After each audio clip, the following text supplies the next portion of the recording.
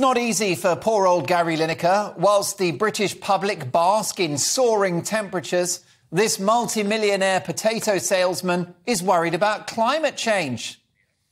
Another heatwave, he tweets, over Europe and elsewhere. Records broken year on year. We're like a cancer patient who knows there's a tumour but prefers to ignore it and hopes it goes away, even though it gets larger every day. Hashtag don't look up. Shall you tell him, or shall I, that this strange seasonal change is not climate catastrophe, but a long established phenomenon called summer?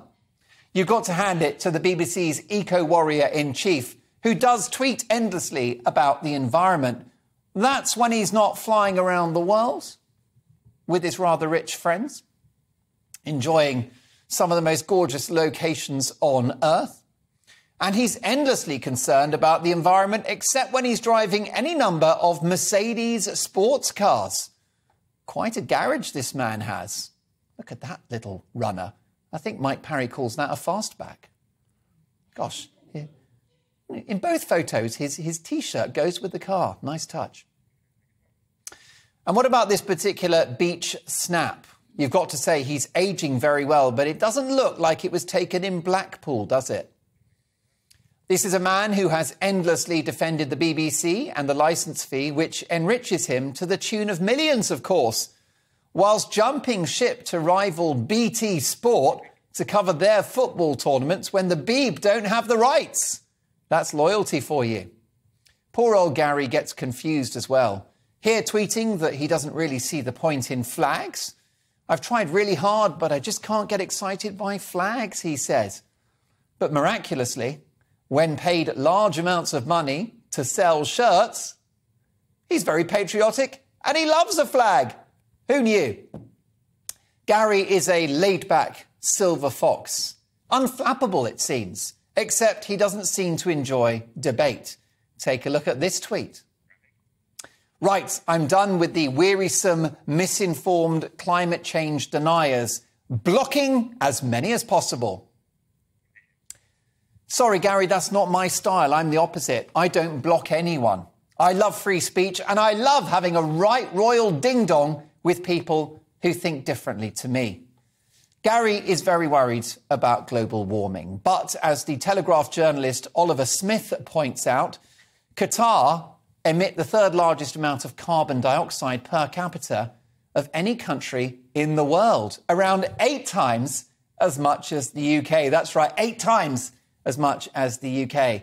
This journalist asks Gary Lineker whether he'll be boycotting the World Cup for that reason. Gary's response I'll be there to report on it, not support it. I doubt many journalists that are sent to Ukraine are pro Putin's war, but they still do their job. This is such a ridiculous argument, tweets Gary. Well, Oliver responds very cleverly with this. The BBC reported on the Tokyo Olympics from Salford in Greater Manchester. You could suggest a similar location. Unfortunately, this was a reply hidden by Gary Lineker himself. The truth hurts. Now, I'm a huge fan of Gary Lineker. He's a Leicester, Everton, Spurs, and England legend. However, at GB News, I'm paid to have an opinion, and this channel is free.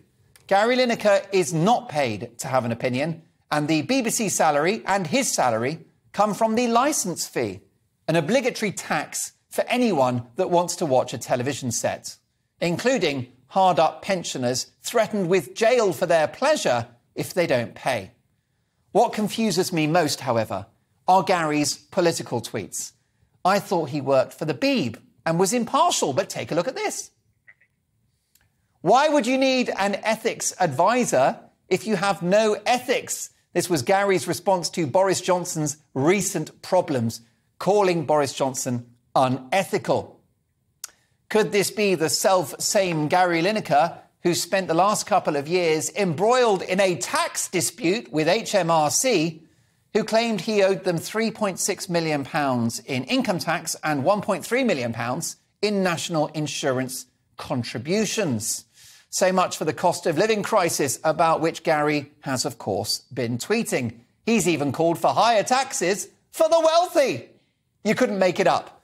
I do hope all of these political tweets aren't designed to get him out of that tax bill, a theory posited by his pals at The Guardian.